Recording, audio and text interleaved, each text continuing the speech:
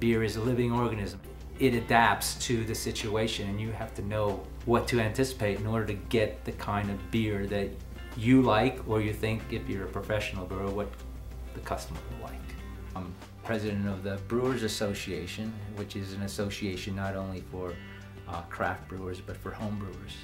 And you know, I continue to love making beer. There's probably 100,000, 200,000 you know, people that are making their own beer at home every other week.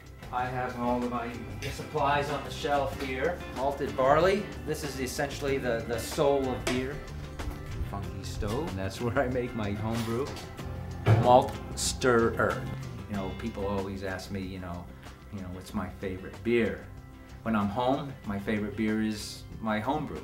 It's a bit cloudy, but that's because it has a chill haze. I have a number of beers on tap right now. Dilly Dally Bock, I have some Oba Pilsner, I have some uh, Horny Donkey uh, Pale Ale. My wife Sandra is from Brazil, and what was the song, Sandra? Honky tonkin', honky honky tonkin', honky honky tonkin', and she heard I heard this really good, cool song on the radio. It's called Horny Donkey.